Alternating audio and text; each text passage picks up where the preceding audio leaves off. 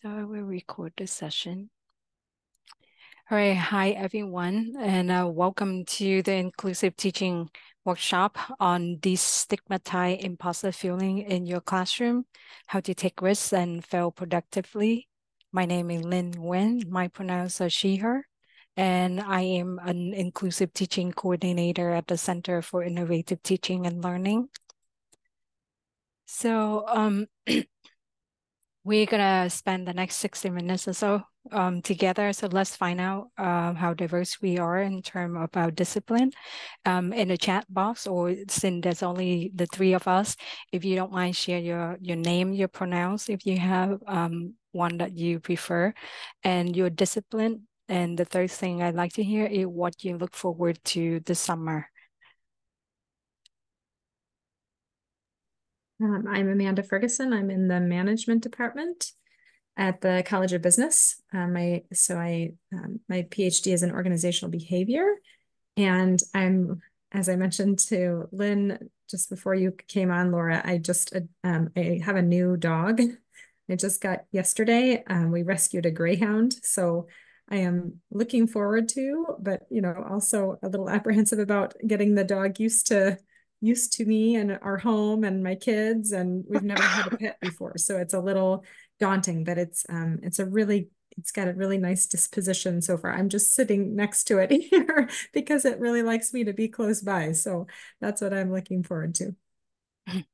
Amanda thank you. Do you teach? Um, I will not teach in the summer. I teach in the MBA programs um, usually off campus in Naperville or Schaumburg or um, and nights and weekends, usually during the um, fall and spring terms. Thank you.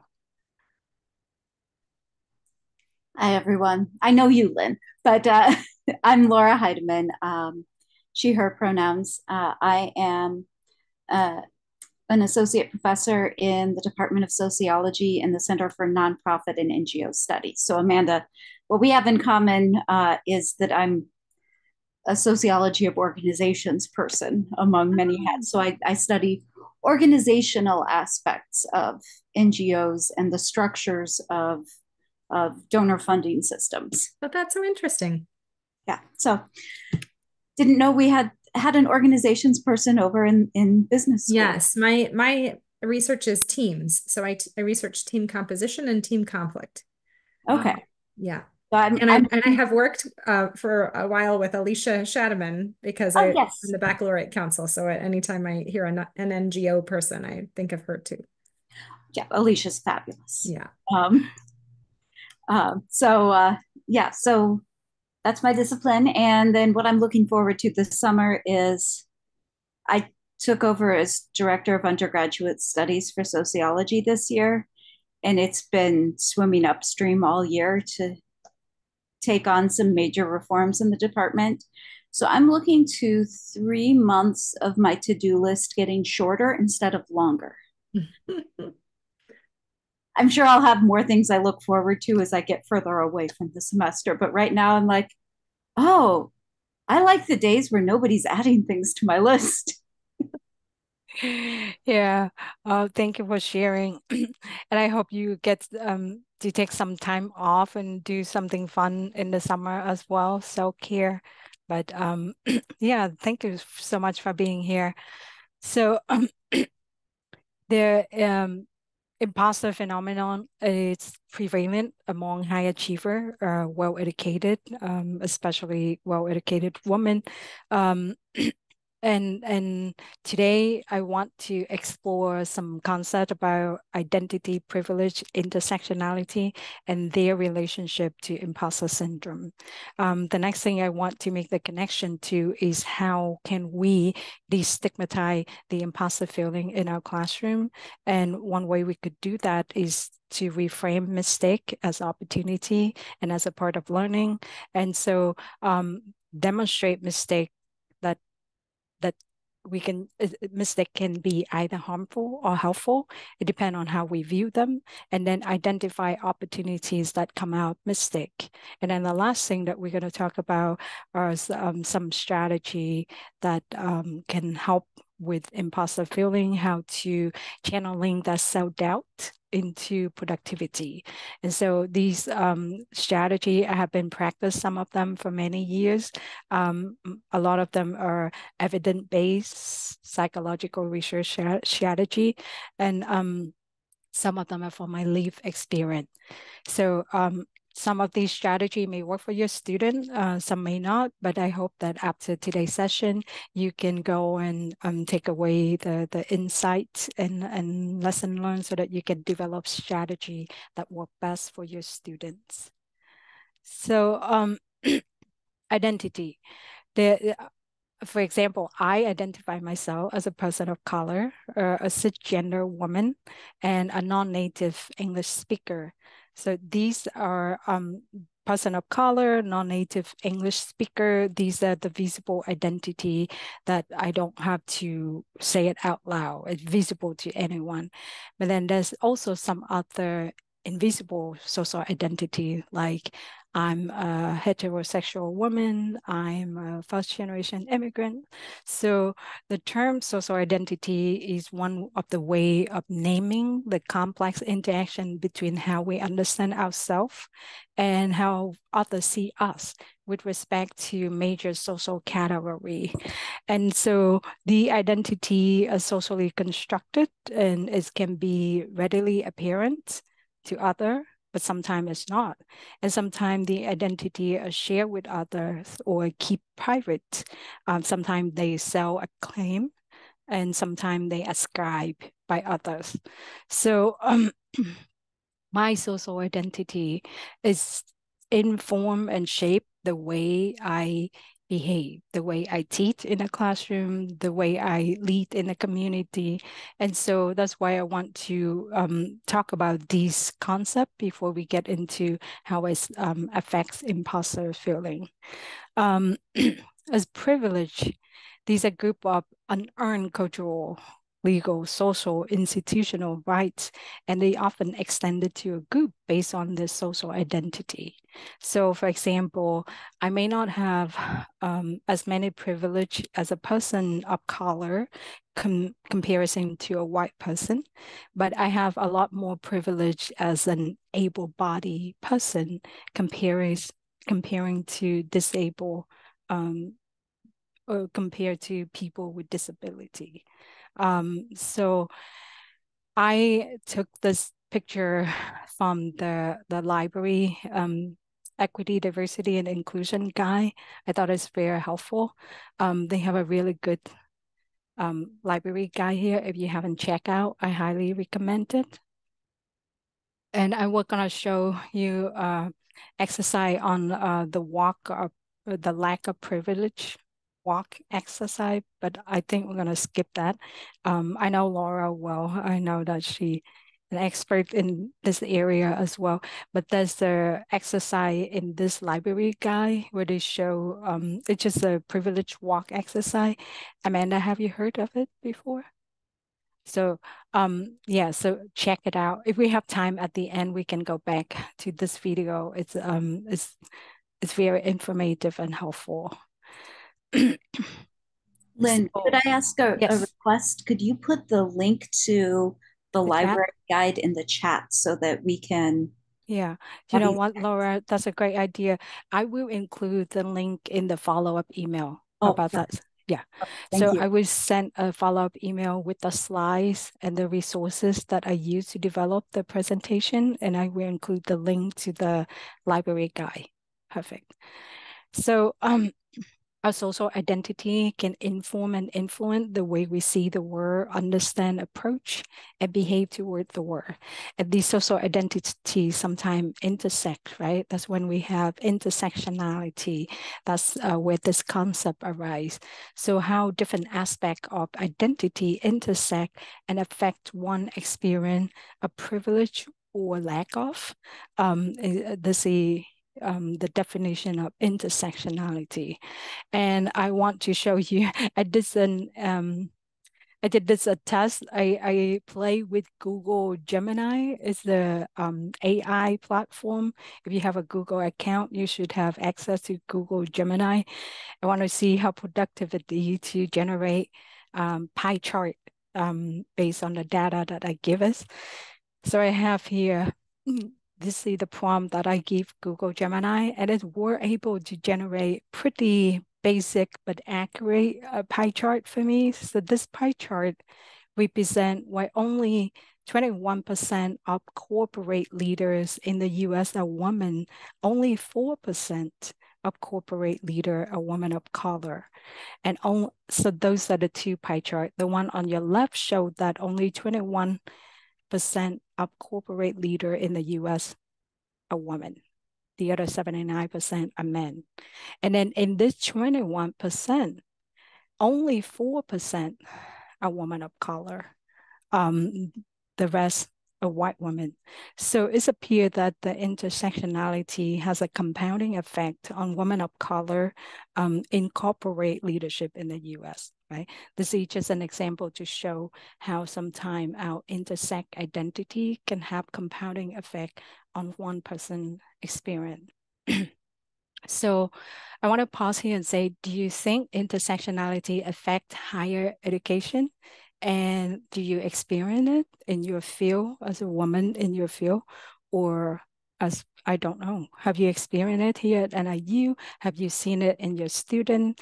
Um, can you share with the group um, your thought on intersectionality in your classroom?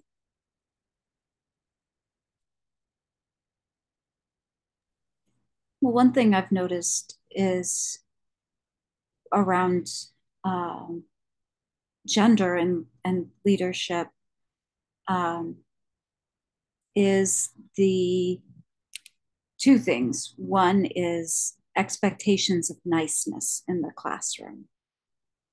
Um, that that oftentimes in my evaluations, what students are commenting on is whether they perceive me as nice or not. Um, right? And and having seen male colleagues, um, you know, evaluations as as part of classroom eval, you know, as as part of our department evaluations, I've never seen my male colleagues evaluated in those same terms. Um,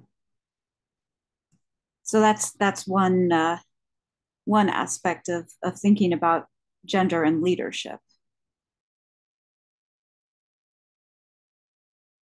I um I was gonna say I that's interesting. I haven't I haven't personally experienced that, but I was thinking about um I was think thinking about sort of this multiple aspects of identity and um one thing that I have used with my students a long time ago, which I haven't used recently because I don't ha I haven't taught undergraduate students in a while, and I, I used to do this in an undergraduate classroom, is I used to do the 20 statements test where I would have them fill out 20 statements with the prompt I am.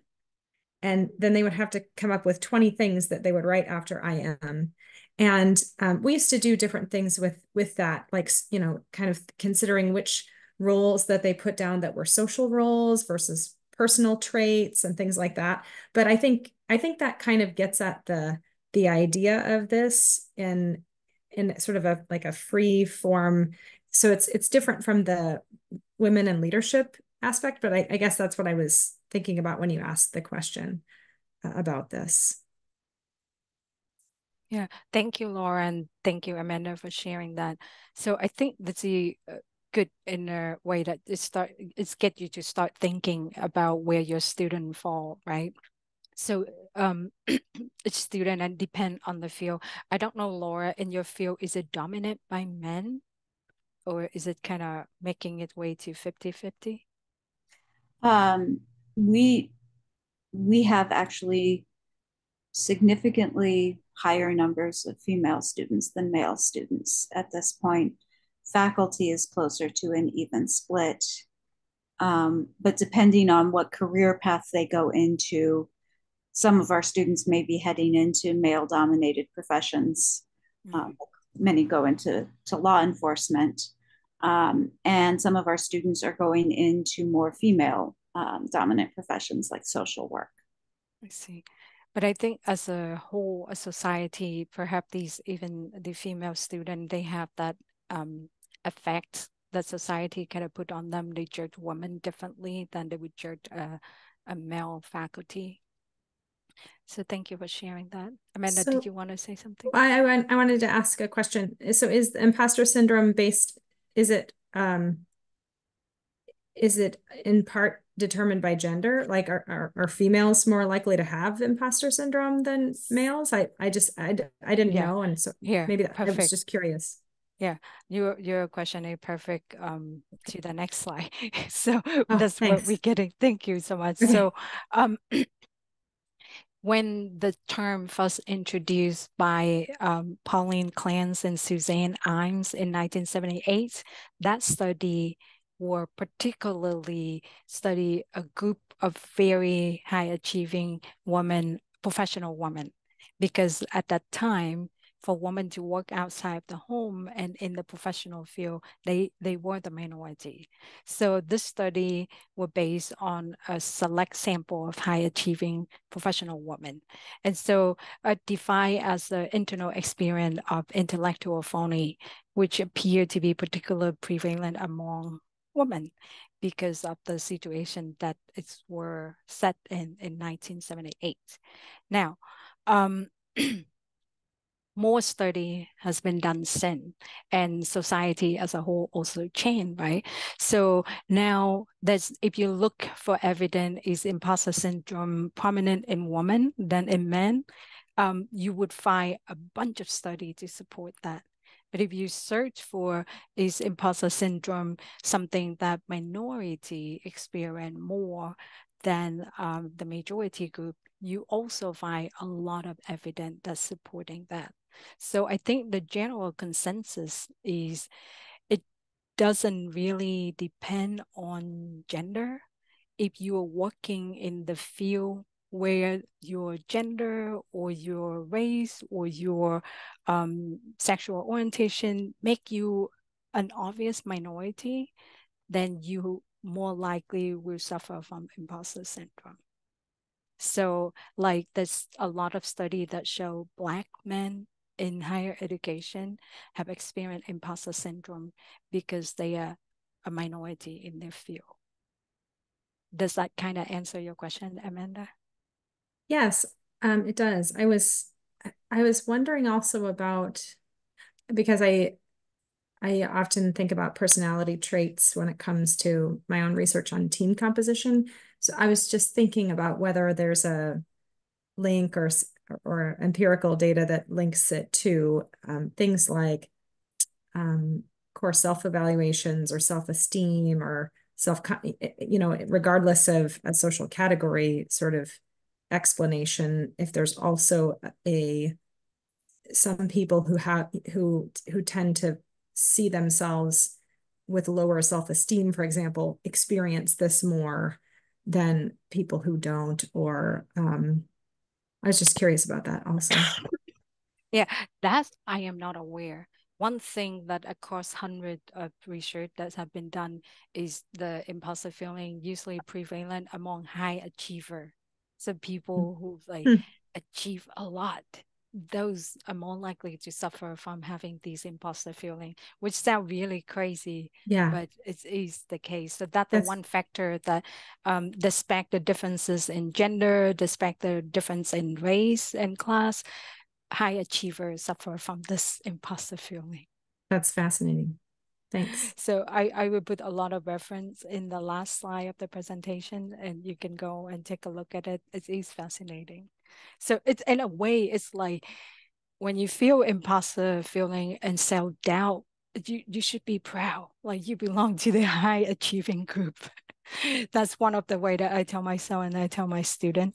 So I can give an example of how um, your student might experience the, this imposter feeling. And as professional, I I'm a woman of color in America. I'm a first generation graduate from college, um, first generation immigrant uh, whose English is second language, and I'm a woman in STEM. So I I feel this feeling of self doubt a lot as a student, as a professional, and I have develop a strategy to cope with it. And I also feel like when I talk freely about imposter feeling in my classroom, it's open the door, it's open the, microphone for my student to start sharing their feeling. And we kind of normalize it. And then we discuss this um, through a lot of us um, uh, through the way we view mistake and failure, which I will show in the next few slides. So um, despite all of my social identity, some of which I can't change, like I'm a woman of color, um, an immigrant, um, I have a lot of earned social identity. I have a PhD in computational chemistry. I am a, an award-winning educator. Um, Sometimes, despite all of that, I still feel imposter feeling. I still feel like I don't belong in higher education. And I think I feel that way because society has assigned me several identity that associated with fewer capabilities and fewer privilege. And so despite being intelligent and capable, um, in many situations, people still treat me as if I'm less adequate and as a result, I often suffer from imposter syndrome or imposter feeling. Um, and I carry that self doubt into my classroom, but then I try to leverage it so that I can become a better instructor and I can serve my student better. Um, so this feeling, the imposter feeling, can be caused by a number of factors, but then it can uh, compounding on the negative effect if it's um, coordinated with stereotype discrimination, microaggression, lack of role model, lack of inclusive, equitable mentorship, or lack of opportunity for leadership. Um, so in general, lack of representation. It's can compounding on the effect. So uh, the common consensus is imposter feeling, especially prevalent among people working in a field where they, with their gender or race, make them an obvious minority.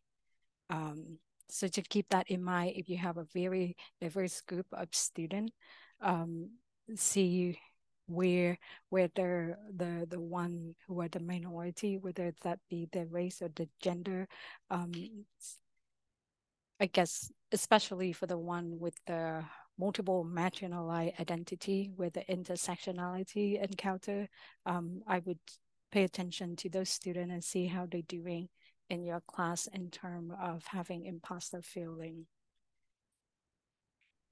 So So now that we got over the part of what the imposter feeling and how the intersectionality can make it worse, let's talk about strategy to destigmatize imposter feeling in your classroom. And I think um, the most important thing to me um, inform the the research that I uh, read is like it's really how we view mistake in our classroom. So um, I think I have three questions here, and I think I'm gonna go ahead and show them all to you. I wonder if you could share a personal experience where mistake ultimately lead you to significant learning or growth. And then in that story that you share, what are some strategy or practices that help you learn from your mistake?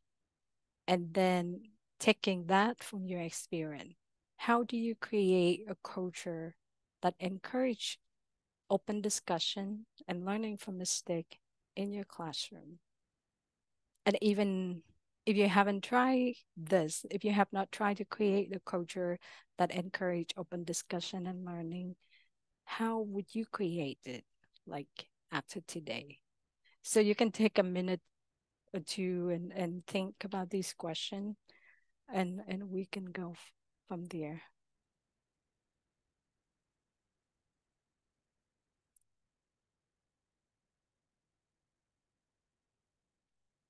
I can share first.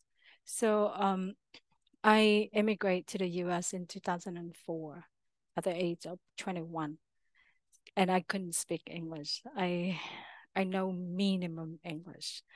but I I know chemistry. I was really good at math. So I started at the Oklahoma City Community College and I enrolled in uh, a lot of math and science courses. And my favorite class were general chemistry. And I still remember the professor name, uh, Courtney Dodd. So I remember that because I remember I failed the first exam and it's, it just blow my mind away because I know chemistry. So I know I failed the first exam because I didn't understand what were asked of me and I couldn't make it out. So that's why I messed up the number, the equation, and I, I failed the, well, when I say I failed, I'm pretty sure I got a C, but that failure for me. So I, after done being sad and heartbroken, I find her and in my book in English, I asked her, I'm not stupid. Like I try to convince her, I'm learning English. This is my first semester in America. I, I don't understand the English. I knew chemistry. And so I keep remember that she she chuckle and she say something that this is my first semester teaching too. I were working in in industry before now. So she started asking me if I have a textbook, and I say no because I couldn't afford it. She asked me if I um, did the homework, and I say no. I say just study from the the notes that she provide.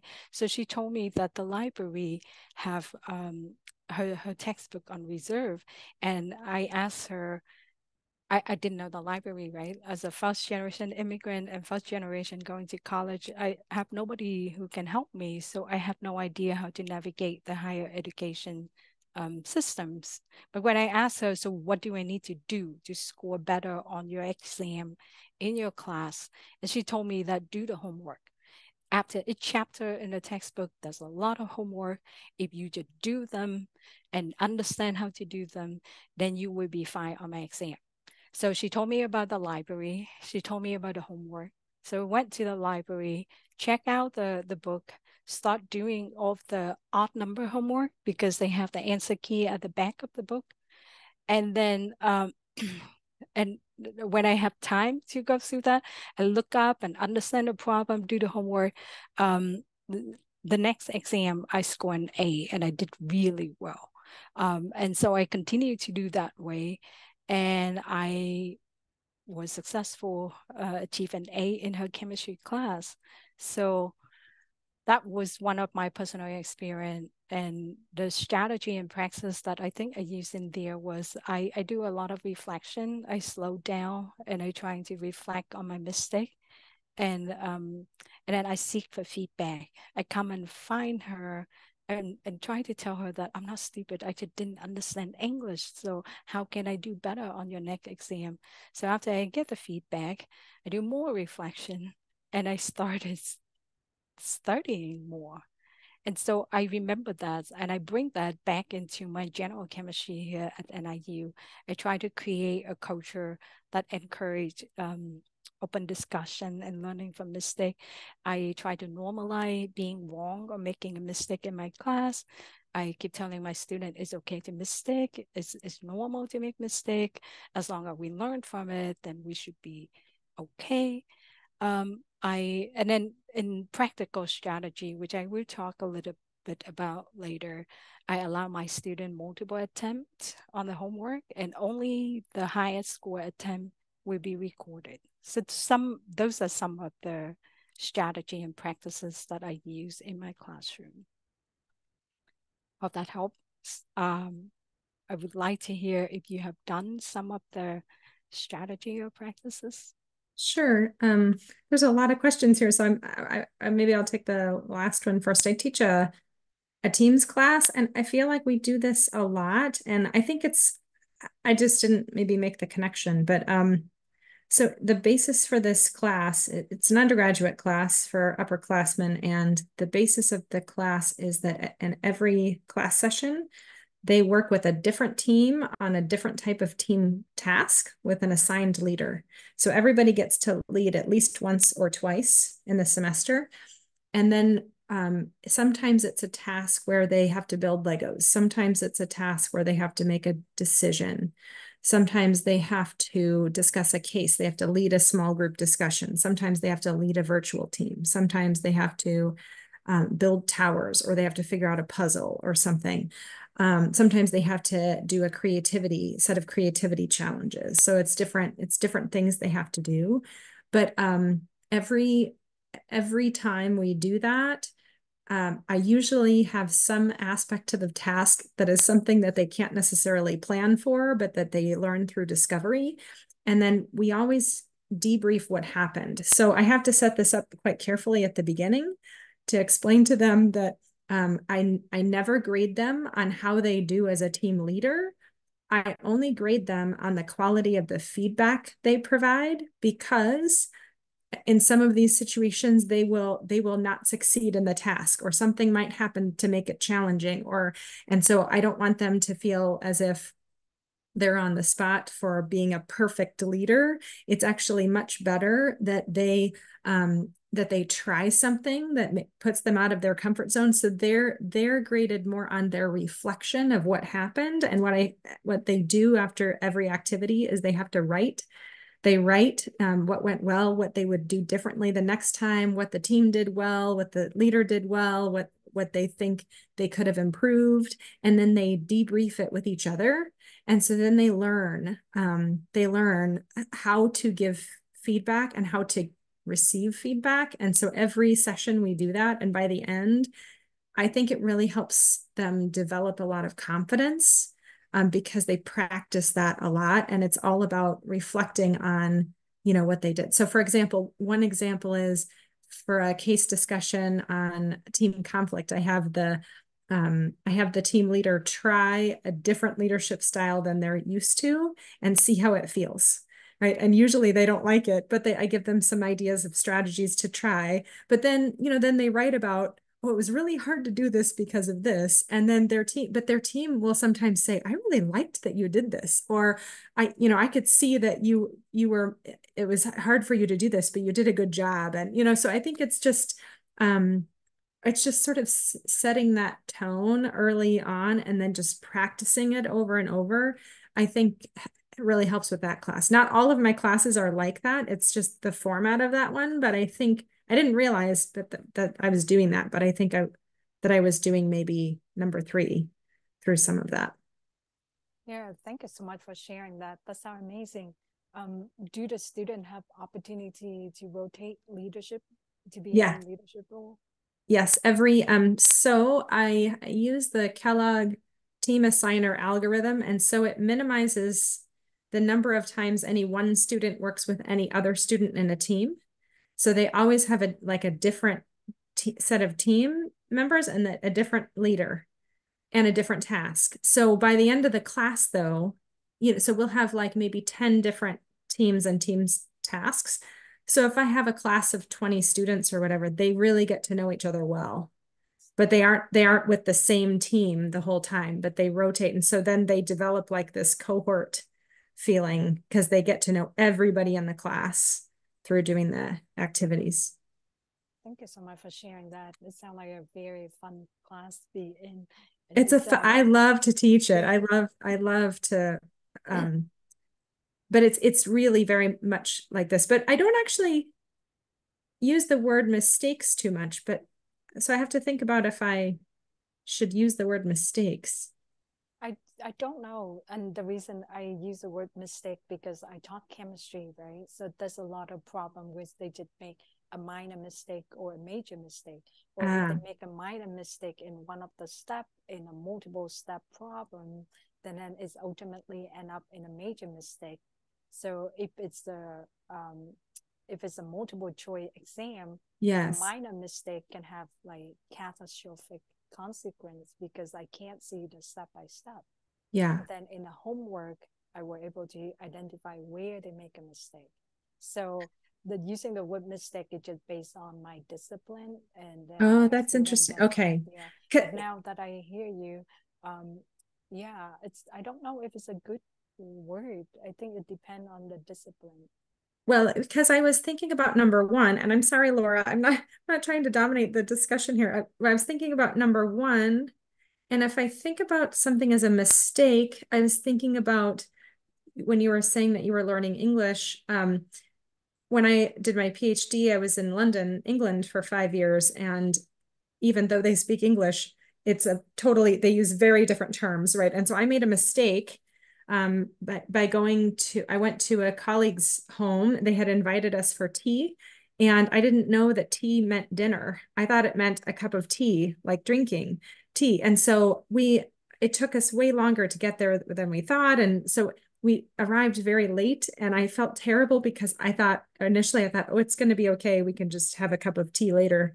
But they had kept dinner waiting for us be, because I made that mistake. So I, I learned, but um, but when you were talking about sort of um, sort of this like studying you and you didn't do as well, I was thinking, you know, of of of of a time that I had a similar experience in school when I worked really hard on a on an assignment for an advertising class and this is really what I thought I wanted to do with my life and I did I, I got a terrible grade on it a D or a C or something and I worked I worked for hours on it with a partner and so I couldn't believe that we had gotten such a poor grade and I tried to get an internship kind of in that area and I wasn't selected for the internship but it kind of helped me see that I was while I wasn't succeeding in this area I was succeeding in this other area of organizational behavior and so you know, it helped me learn and grow in sort of like what I had some aptitude for as a, but I wouldn't have called that a mistake.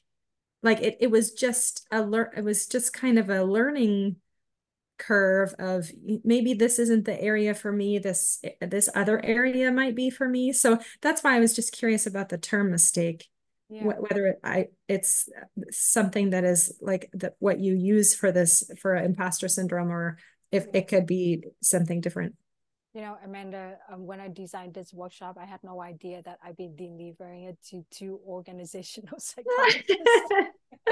so the term I use is more, you, you way past that term. You already recognize that mistake as opportunity or, or mm-hmm. mistake as intelligent discovery for you. You discover that, hey, I may not be able to do this well, but I should do this instead. Yeah. So this is the way that I'm trying to think of in framing the the Mm-hmm.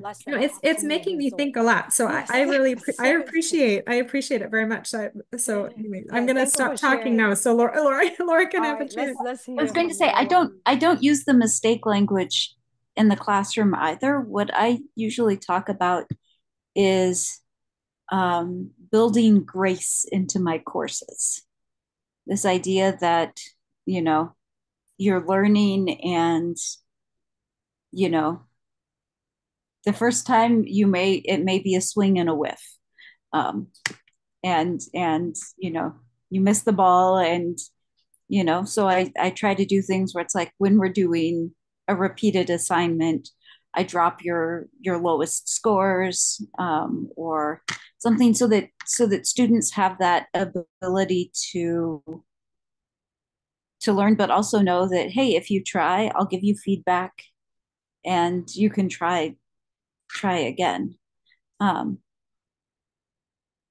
yeah i was really interested amanda to hear about the the leadership um, uh, exercises you do because i do a leadership exercise in in my social movements class mm-hmm. um, but they are in the same groups all semester but they each take turns leading um, i call them student facilitated discussions and so learning how to facilitate a discussion they do get graded on it but mm-hmm. it's usually set up in a way where if you um, don't you know you're not happy with your facilitation grade you have an opportunity to like there's there's one more week of facilitated discussions than there are students in the group so that somebody can redo it if they want to. Well, that's nice. I um, actually um, i don't think that's a bad thing laura about really there's some great research showing that familiarity teams working with the same teammates over time can really help them grow. And so i think it's just, the nature of this class is it helps them mm-hmm. to to not to, to have lots of different teams that they're on. But i think in many classes it does help to have a smaller group that they can develop with yeah and and what i'm trying to do with the way i'm i'm trying to teach leadership through this is teach an inclusive model of leadership that says right you don't win by you know, getting through the exercise as quickly as possible. You you do as well as possible in a group when everybody is when there's space for everyone to make contributions and you build on each other's ideas. Um, and one of the things that I've noticed with thinking about leadership this way, like leadership as listening and supporting and facilitating, as opposed to leadership as domination, is that many of my students who um, are shyest in the classroom actually do best at these leadership tests when they think about leadership as inclusion. Um, they actually show sensitivity to group dynamics and have that eye on who's talking or who's not and you know whose voice has been heard and not um, and so yeah it's it's been an interesting thing for me to observe in, in teaching is is the way that our definitions of leadership in the classroom might make space for students who who have that imposter syndrome and think I can't be a leader um, to recognize the different kinds of leadership that they leadership skills that they possess and have those celebrated. Thank you, Laura.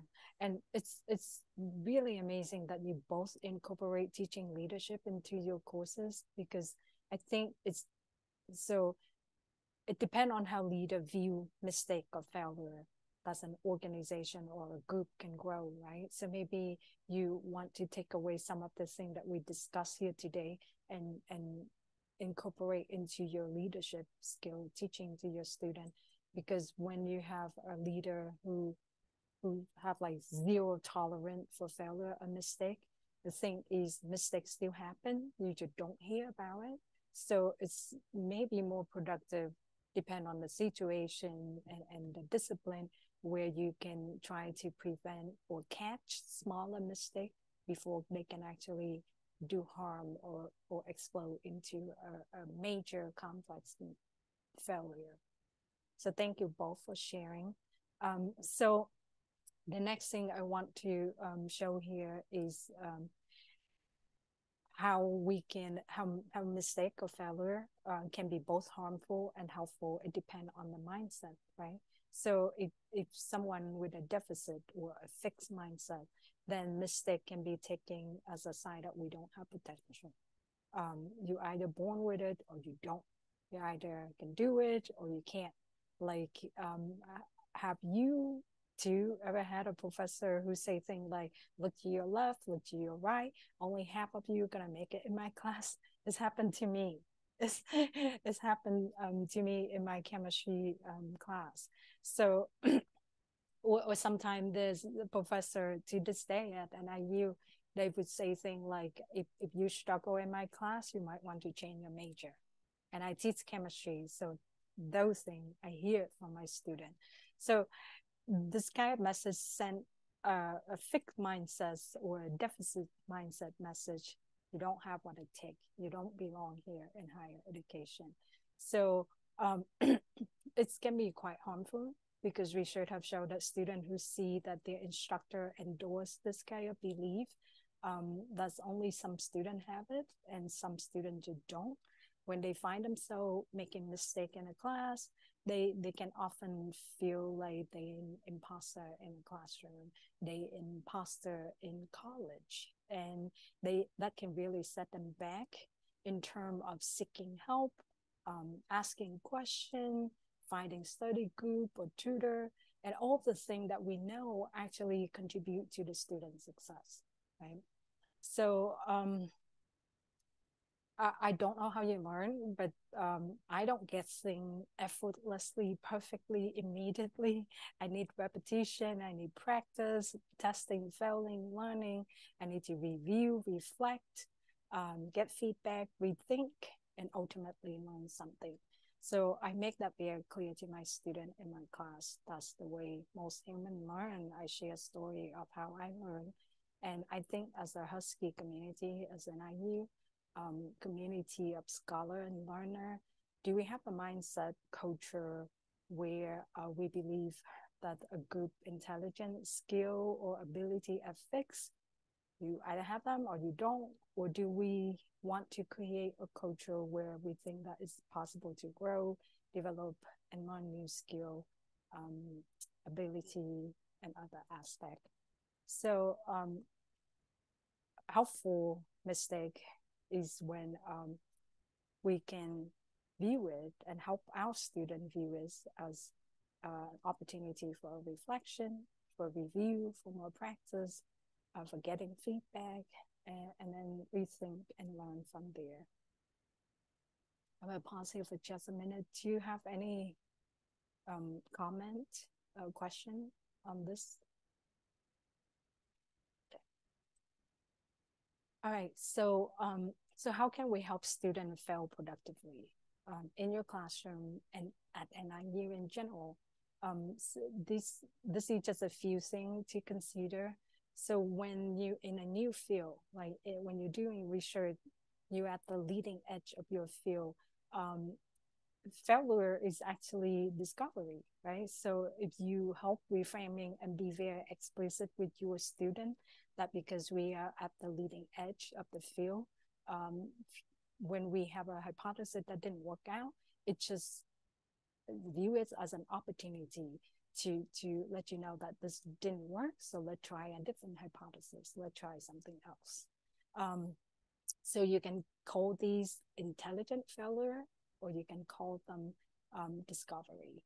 Um, another thing I want to suggest in teaching, so complex and major mistake often happen um, not by itself, but often it's happened because the smaller minor mistake that were not caught and corrected.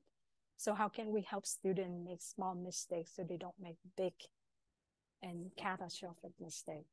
And I think I think I heard uh, both of you share how you allow your student multiple attempt, right, or drop the lowest score on an exam. Um, so when you allow students to submit multiple draft and then you can review or your grad student can review and then give it to the student for revision, that's one way that we can um, quickly identify minor mistakes so that the student can correct it and then don't fail the the the assignment or, or the, the class. Um, so that um, and then other thing too, multiple attempt on homework quizzes or sometimes retake exam if you do that. Um, in real life, how can we set up to catch and correct mistake before they cause harm, particularly for you in the power uh, in a position with power or for you when you teach your student to be the future leader. Um, if they lead an organization or a group, um, they need to be able to cultivate a culture where they can catch and correct mistake before um, the bigger, more complex mistake happen. So a simple checklist can prevent basic mistake, but at the same time, uh, we have to go to the checklist mindfully and, and not mindlessly. Another thing to consider is avoid a culture of zero tolerance for mistake or failure, because as human, mistake will happen. Um, but if you create a culture where you don't tolerate minor mistake or failure, mistake will happen. We just don't hear about them. And those, there will be no opportunity to learn, no opportunity to improve. And um, a more complex mis- mistake might be the result of that.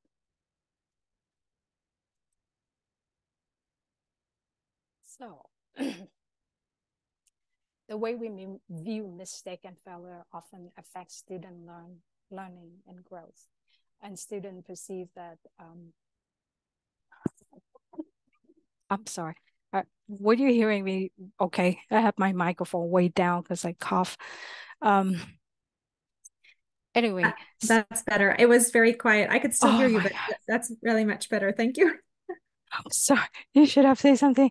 I see you getting over a cough, so I had my microphone down and I didn't realize that. I'm so sorry. Um, so uh, as professor in the classroom, how can you help student turn these imposter feeling or the self-doubt feeling into productivity? Um, because um, the, the imposter feeling is affect the student who do well as well as the student who struggle. But the student who do well, um, they sometimes question like, is it possible that I'm doing well? I'm not a genius, you know? So um, it would have a negative effect on the student who do well, as well as uh, the, the student who struggle. So with that said, imposter syndrome is very common. It's a fair, it's a shared experience. Uh, many people in many field, regardless of gender and race, um, will feel will have that feeling at some point in their uh, life. And so strategy to overcome that include finding a support system, um, setting realistic goals for your student, um, and then help them setting realistic goal for themselves. Um, celebrate their accomplishment and celebrate a small success to build confidence um, and then every time if they have negative thought, and you should teach them to challenge the thought, like ask them the question, do they have evidence to back up that claim? Or look at all the achieved uh, accomplishment that they've done um, to to help combat with the negative thought when they arise. And then model behavior, practice self-compassion, um, the last thing I want to mention is advocating. So for the student, um, and as well uh, for you, if you face this this self doubt feeling, advocate for yourself and advocate for other. So one thing that I find very helpful for me to turn my imposter feeling into a self coach or into productivity is I actually leverage it to drive me to do more and do better. Um, and I can share one example is the, the story about the chemistry textbook on reserve. So because I had that experience, when I share with my student in my classroom, I I tell them that I didn't have money to buy textbook. I understand textbook is really expensive. This is how I deal with it. So I think I normalize being poor in college, help a lot of my student. Um, and then I also put my textbook at the library on reserve um, before faculty at NIU were asked to do the same thing. Because I tell the student, you can go there, check out a book and study, take photo of it and go home and study in your group or um, make photocopy. Um, so I normalize being poor as a student. I normalize um, using the library, sending them there. So I kind of turn my experience into activism in that way because I I put the textbook on reserve to help students who couldn't afford textbook and they can still check it out and study. And um, another thing that I, am, I embrace in my classroom is I embrace my accent. I tell my student that I English is not my first language. I learned it as a, an adult. And so I say that that's the word that I know I can't pronounce well. And I tell my student, don't let me get away with it. Like stop me and ask me to write it down or ask me for clarification but then by telling my story and reframing my accented English, not because I'm not intelligent, I embrace my immigration story. And many students later come to me and share that they were afraid to speak up in class because they also speak English with an accent, or they share the story of their parent um, who are immigrants. And so um, those things that I do to just like reframing the story, uh, advocate for myself, it's become transformative for my student too. And it have a really positive impact on my student. All right, so um, I think we're gonna skip this. Celebrate your accomplishment. These are just some reflection uh, for you to take away. Um, reflect on your identity privilege and or lack of and how they inform your imposter feeling and then how you can create a culture that encourage open discussion and learning from mistake in your class and know that this culture will help um, minority student. Depend on your discipline um, woman is a minority in STEM, but woman not a minority in early childhood education. So like men in that field might have a more profound impact um, with imposter feeling because they are a minority. And then the last thing that I hope um, all of us gonna do is think about how we can challenge the dominant narrative and practice in our field so that we can ensure that underrepresented students don't feel like imposter.